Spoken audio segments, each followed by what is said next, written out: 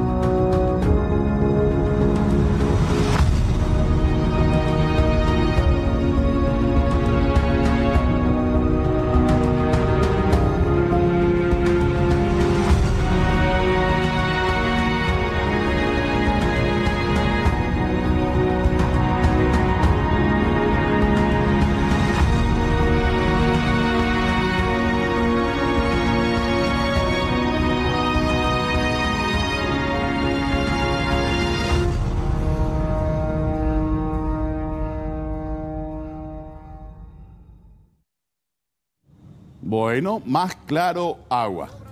Más claro agua, Olimpia ya de forma oficial anuncia la presencia de Rodrigo Rojas como su nuevo jugador, con la camiseta 8, que dejó Cuero, porque Cuero ya se fue, entonces Rodrigo Rojas va a utilizar la camiseta número 8. Así es que en breve vamos a estar hablando de este tema y otros también, por supuesto, a través de la votaparaguay.com, www.votaparaguay.com, para que ustedes puedan participar de cómo está la cuestión, tanto en Cerro como en Olimpia, en materia de contrataciones, que enseguida vamos a contar qué le depara Cerro, qué le depara Olimpia, quién ya vino en Olimpia, quién ya vino en Cerro Porteño, quién va a venir o quiénes van a venir, todo esto la pregunta. Pero arranquemos con Olimpia. Y dice la siguiente, Olimpia puede pelear la Libertadores con estos refuerzos. Faltan más, claro.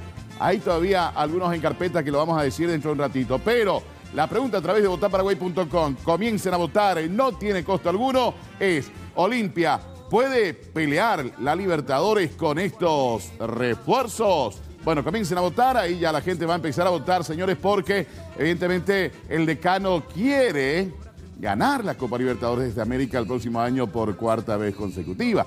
Y se están dando algunas que otras cuestiones que tienen que ver con la cuarta. Ganó Real Madrid la cuarta. River ganó la cuarta. También en Copa Libertadores de América. Y bueno, vamos a ver qué pasa con Olimpia el próximo año. Pero por de pronto está, y, cierto es ver, eh, todo es cuarta. y hasta ahora los perros ya o más cuarta y ahí.